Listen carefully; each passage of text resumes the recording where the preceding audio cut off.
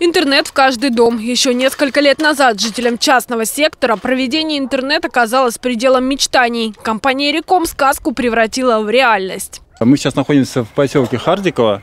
А В данном поселке мы включаем частный сектор и по технологии пассивно-оптических сетей ПОН. Самая передовая технология по подключению частного сектора.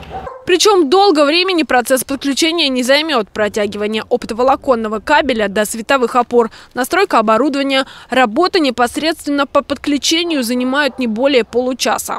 За этот год, э, который мы включаем этот поселок, мы э, существенно достигли большого числа проникновения.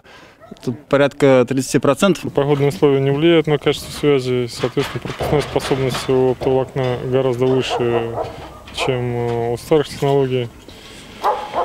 И поэтому вы только заметите в скорости.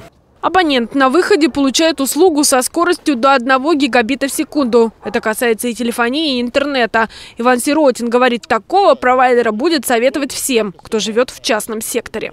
Посоветовали люди обратиться в Реком.